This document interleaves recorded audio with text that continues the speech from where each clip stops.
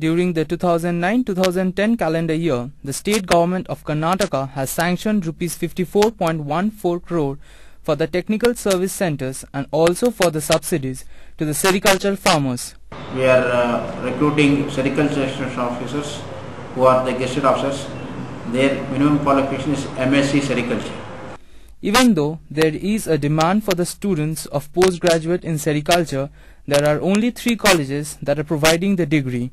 University of Agricultural Sciences Bangalore, uh, MSc and PhD program is there, and uh, Mysore University, uh, Gangotri Mysore, MSc and PhD program is there. Jnana campus, Bangalore University, Bangalore, program is going on. But even with the technical assistance group helping the farmers, they are still facing a large number of problems. Many of the national schemes which, are, which have been given for other crops, the uh, farmers they are getting lot of benefits from, from central level. Such benefits are not extended to mulberry and silkworm because mulberry and silkworm uh, has not been considered as a crop at national level. Even though Karnataka produces 60% of the total silk production in India, the sericultural farmers remains neglected by the central government. This is Arnab Lall Seal reporting for IIJNM.